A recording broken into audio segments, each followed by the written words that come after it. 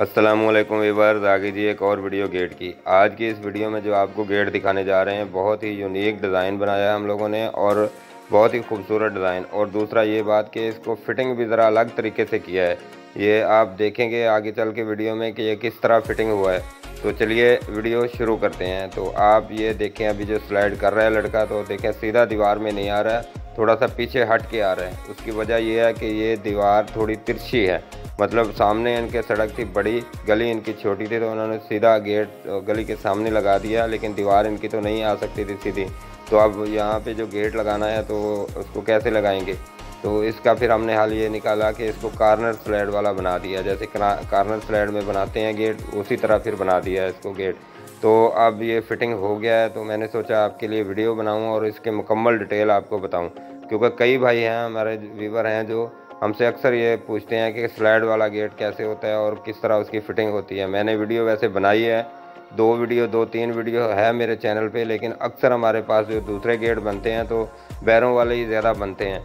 तो sliding gate कम कम होते हैं बहुत ही कम बनते हैं तो इस वजह से उनकी वीडियो भी ज़रा कम ही आती है। तो आज हमें ये मौका मिल गया आपके लिए वीडियो बनाने का। तो अब ये आप देख सकते हैं, ये साइड पे दीवार है इनकी। तो अगर आप भी ऐसा गेट बनवाना चाहते हैं, आपके भी सामने मतलब दीवार नहीं है और आप स्लाइडिंग करवाना चाहते हैं तो बिल्कुल आप बेफिक्र होकर इस तरह का बनवा सकते हैं। बड़ा इजी चलता है, बड़ा आराम से ये खुलता और बंद होता है। ये देख सकते हैं आप, लड़का आराम से एक हाथ से बंद कर रहा है, खोल रहा है, इसको कोई मसला नहीं होता। हम बड़े व्हील लगाते हैं, ऊपर नीचे बैरिंग वाले डबल डबल बैरिंग वाले व्हील लगाते हैं तो उस वजह से ये बिल्कुल ईजीली चलता है, कोई मसला मसाइल नहीं होता है।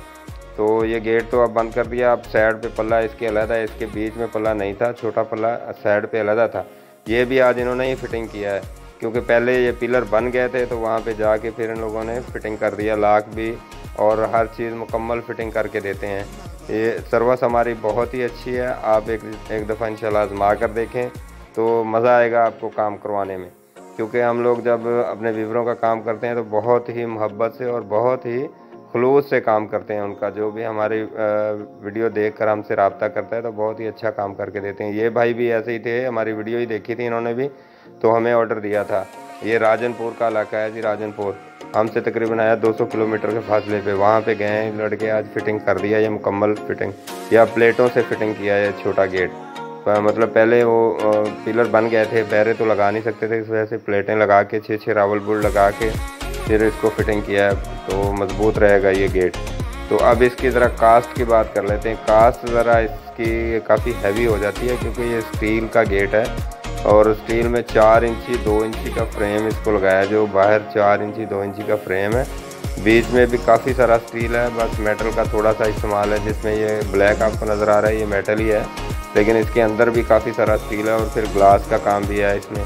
तो ये ज़रा हो कास्टली जाता है। ये सतारह सौ रुपये फुट के हिसाब से बना था। तो ये बारह फुट का गेट था और साथ इसमें साढ़े तीन फुट का छोटा विकेट गेट था। तो ये टोटल अमाउंट में बन गया था एक लाख अस्सी हज़ार में।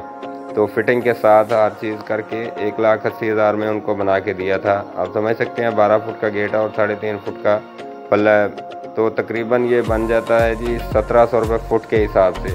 तो सत्रह सौ रुपये फुट के हिसाब से बहुत ही ज़बरदस्त गेट ये आपका बन जाएगा, आप फिटिंग करके आपको देंगे, जहाँ पे भी आप मतलब पाकिस्तान के किसी शहर में भी होंगे तो आपको फिटिंग करके देंगे।